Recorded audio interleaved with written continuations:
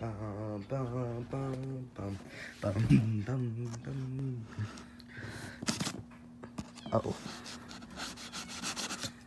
Got to be careful. This is not the cheapest thing, and I've been saving up for it for a while. Oh. Just cut away from you. Except for now. Because I'm doing this one hand.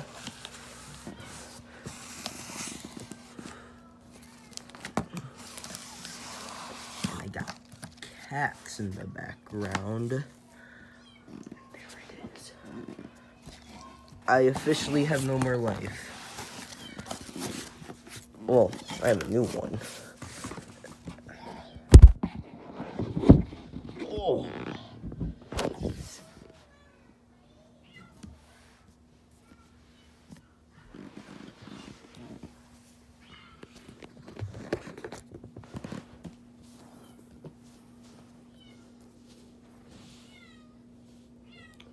Hope you guys can see this. Can't tell if this is like a seam on the outside that I need to cut or... Okay, yeah, it's something I need to cut. Man, this is packaged very tightly. There we go. Sorry, I got a kitten in the background who to quarantine because she has she's sick.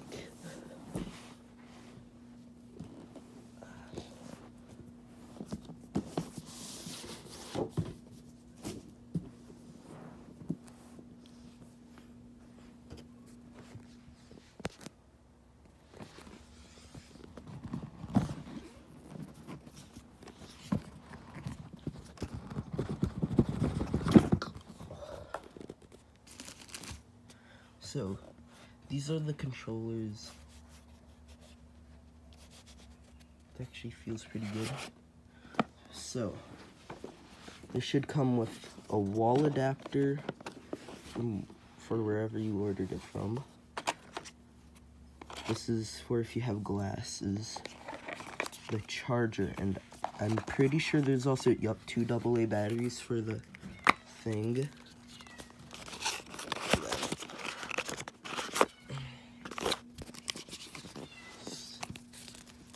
Some little booklets, reference guide, and um, Oculus Quest safety and warranty manual.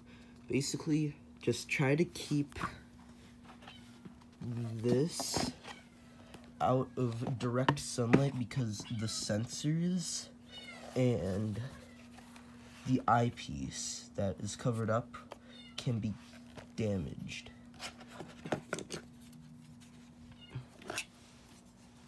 I'm really happy because I've been waiting for this and I was kind of really sad. It feels kind of weird because I'm used to the Vive controllers. It like feels weird, but it's a lot more natural with like the grip button because with the Vive, like you need to press down on the sides. And I like how there's actually a thumbstick.